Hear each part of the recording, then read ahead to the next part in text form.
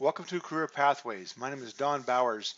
In this video, I want to talk about Kali Linux version 2 wireless configuration with promiscuous mode operations.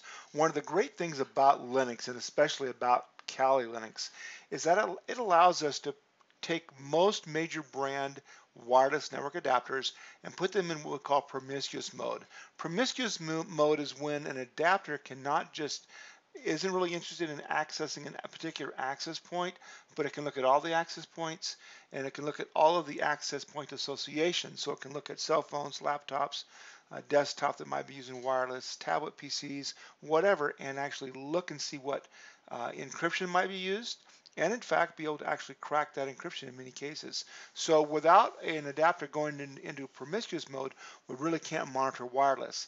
And Kali Linux version 2 does that very well, as do other versions of Kali.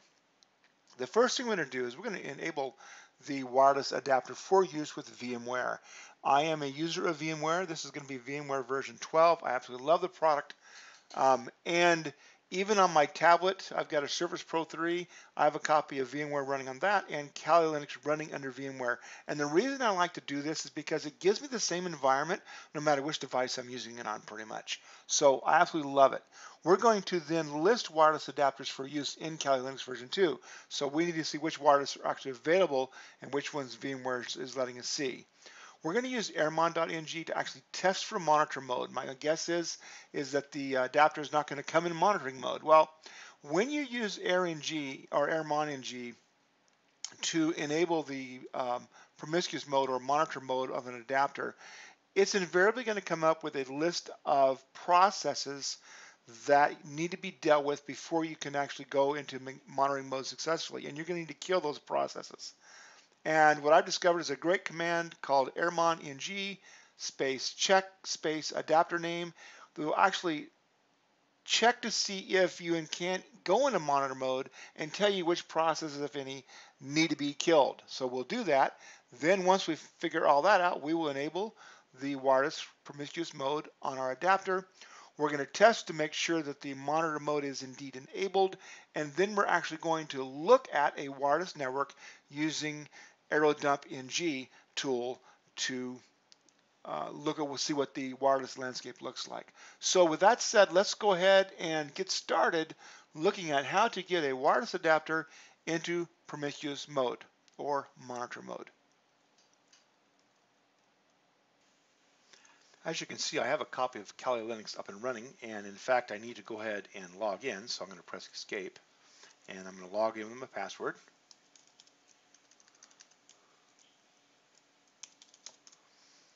And this should log me in. So I have Kali Linux up and running, and the first thing I want to do is verify that my VMware sees my wireless adapter and can pass it through to my Kali box. I'm either going to right click on the tab here and go to the removables uh, items, or I can click on VM if you don't have the tabs enabled and go to the same exact location.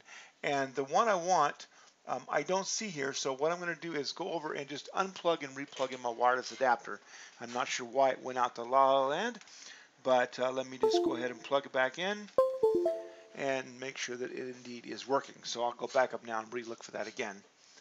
Um, I'll right click here and go to my removable devices and we can see now that I do have indeed a Realtek device and because I had a copy of Linux up and running when I plugged the device in it will see it automatically uh, because I had Linux working and I plugged the device in it will capture it for me. So let's then verify uh, and I use a program called Guake for my terminal. So you can either go to the terminal on your Kali Linux, which is right here, or I'm going to press my F1 key and, and enter my terminal mode.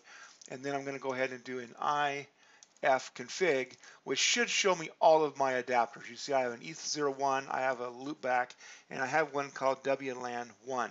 And WLAN1 is indeed my wireless adapter. So I know that my wireless adapter is up and running. I want to do an IW config because when I do that, as you can see by the screen, it actually tells me not only can I see the wireless WLAN 1, but it is in access point mode, and that is the default mode. What I want to do though is put this in penetration testing mode. So I need to do that. Now, if I just run the airmon ng program, what would happen is it might give me a list of processes that might interfere with this promiscuous mode operation, or what we call monitor mode. And I will use those terms uh, interchangeably.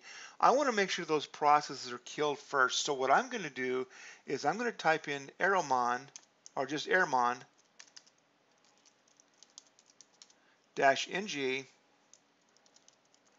and I'm going to type a command that says check, C-H-E-C-K, space WLAN 1. And what this is going to do is without putting the thing in promiscuous mode, it's going to check and see if it can and if there's any processes that might be getting in the way. And this is one of the things that I see a lot of Linux users not do. And I just know that if I go ahead and try to go into promiscuous mode and it doesn't work, then it's kind of a pain and I got to go take my adapter out and plug it back in or, or do some up and down commands. And I'd really rather not do all that. So I'm going to check. And you see, indeed, I do have uh, several processes that possibly could interfere with promiscuous mode operation. So I haven't really put anything in promiscuous mode yet. All I've done is check. And again, I use that by Errmon ng uh, check the WLAN 1. And so what I'm going to do now is I'm going to kill these processes. I'll type in the command kill. And the first process is 821 and then I'll hit enter and say kill. And the process here is going to be 1017 and I'll do a kill again.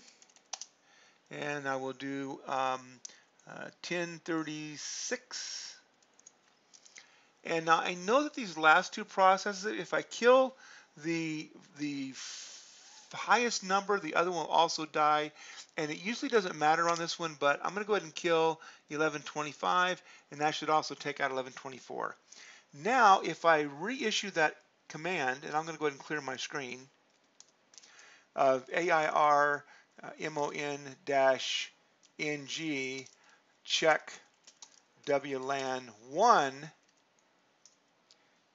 you see those two processes are still coming up, but that's not going to really um, matter simply because that will not affect the promiscuous mode. And I just know that because I've done this a hundred times. So now, of course, is how do I get this into promiscuous mode? And again, I'm going to double check iwconfig uh, uh, and uh, see that I'm not in promiscuous mode. I'm still in access point mode.